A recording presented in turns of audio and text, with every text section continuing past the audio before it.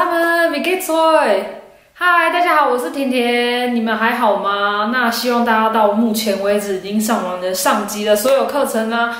那上集我们有提到一些像是最基本的文法啦、问好啦，还有一些生活上的用语。那我希望你们真的有学到很多，也喜欢我的教学方式。那我们其实，在当初的时候呢，我已经规划了十六章节的课程。那上节部分有八章节，下节部分也是另外八章节。那我们现在就到了要上第二呃第二集下集的部分。那下集呢，我会提到像是。德国的文化、饮食文化特色、用餐礼仪，还有用餐的对话。那像是还有一些呃介系词部分啦、格式啊、助动词，还有其实在生活对话中最常用到的就是过去式啊，或是现在完成式。因为当你在人家问你说：“哎，你周末做什么事的时候，或者你昨天在干嘛的时候，你休假的时候在干嘛的时候呢？”这些时候你所需要使用到的文法就是现在完成式、过去式。那我们就来看看我们这次章节会学到什么。下集的第一章节呢是名词的格。那为什么会放在第一节？是因为其实这个文法在学德文的时候是非常非常基础的。因为就像在学英文一样，你要分辨主词、受词、代名词等等的词。德文中的名词呢有分主要四个格，第一个是主格、受格。语格跟属格，那么不同的词性呢，会使用到不同的格。那这个格呢，也会受到它的动词或是介系词影响而改变它的格。第二章节呢，就是比较轻松的，让大家来认识一下德国的饮食。首先，我会先教大家德文中的定冠词与不定冠词，再来介绍几样德国的特色料理。最后呢，则是学一些要怎么描述食物与菜色的形容词。在德国啊，不管是去餐厅，或是你去人家家里拜访的时候呢，对方在煮的东西的时候呢，当然你就是要客套一点，或是真的真诚的赞美那个食物的时候，你到底要用哪一些形容词？所以这章节呢，就是主要是了解德国的特色料理，那也知道在什么时候用哪些形容词来形容一个料理，或是你对这道料理的想法。第三章节是延续第二章节的德国饮食的第二部分。最开始呢，我会先教大家两个助动词，wooden 跟 mochten。那他们的意思就等于英文的 would like to。那这两个字呢，是在我这两个助动词是我在餐厅点餐，或是不管去哪里的时候，最常最常使用到的助动词。再来，我会跟大家分享，就是你在餐厅点餐的时候呢，该用哪些句子，以及最后你要付钱的时候，你要怎么跟服务生说你想要付钱。那到时候最后的时候结账的金额到底要付多少小费？这章节呢，你主要会了解在德国用餐的时候点餐的顺序啦，那德国用餐礼礼仪以及该付多少小费。第四章呢，助动词，那主要就是在延续第三章节我们学到两个助动词以外呢，其实还有其他的助动词是很重要的。那像是 müssen 呢，就像是英文的 must。可能就是像是表达一个人的能力。那 sollen 呢，这个 should 就是。该不该、应不应该这样子？那 wollen 呢，就是表示一个人想要怎样。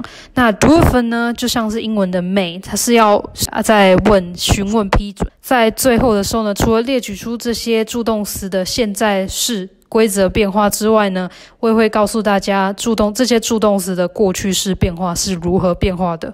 学会了这些助动词之后呢，你就可以表达你自己的意愿呐，自己一个人的能力，还有你想要或是你在询问批准的时候要怎么使用。会在这边介绍给大家助动词，是因为在生活日常中呢，这些助动词非常非常频繁的会用到，所以大家在想要表达自己的想法跟在询问东西的时候呢，就会用到这些助动词。第五章节过去式与现在完成式。这两个文法呢，是我觉得在学德文中，我觉得是最重要的两个文法。这两个文法呢，在德文中都是在形容你过去做了一件事情。那现在完成式呢，也可以是你过去未曾做过的一件事。那么过去式就是比较简单，它就是有分规则跟不规则的动词变化。而现在完成式呢，则是要分成 be 动词跟 have。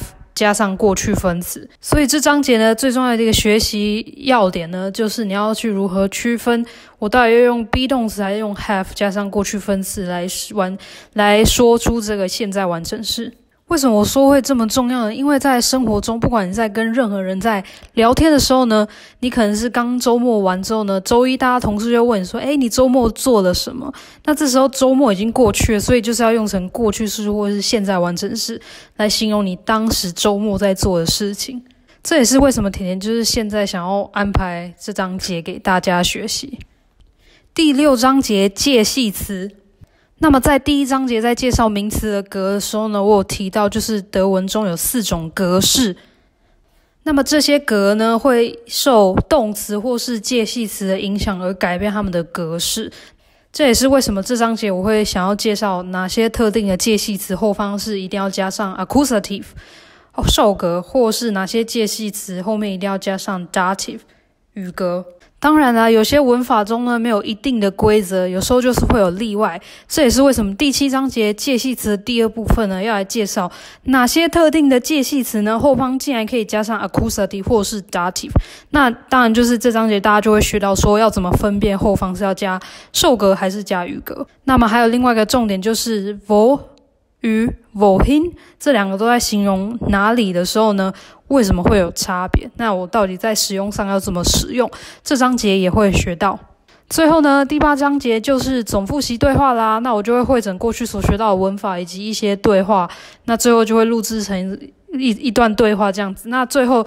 就是会再一一拆解这些对话所使用到的文法与语句，那说不定呢，我们有机会就是听到发表的声音啦。那么大家在上课的过程中有任何的疑问，都可以写信询问我。那或是你们觉得说我在教学的部分哪里有可以改进的部分，也可以告诉我哦。那我们就第二下集见啦，拜拜。